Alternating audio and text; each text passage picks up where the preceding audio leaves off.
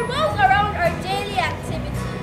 In the time past, we did several projects connected to sustainable living, such as our beautiful planet, the steam fest, the hat parade. Just to mention a few, what does sustainable living mean to you? It means living in harmony with the environment. It means using less energy. It means using less water. It means recycling.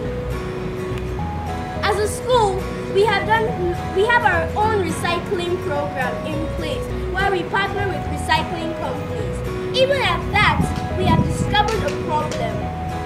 And the problem is improper trashing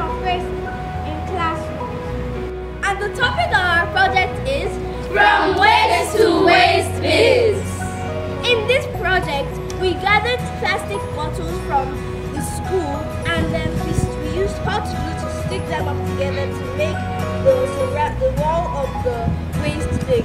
Then we sprayed it with silver spray paint.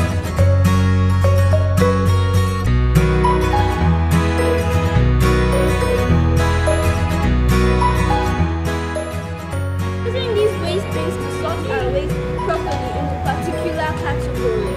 So this waste bin is for paper, while this waste that we should recycle more. I learned that we should not dispose our waste carelessly. I learned it's good to manage our waste properly. I learned that we should use trash to make other useful objects like waste bins. I learned that we should reduce waste in the society. I learned that what we trash can be used to make other things that are needful. I learned that we can turn waste into something like disposable waste learned that we should live better sustainable lives.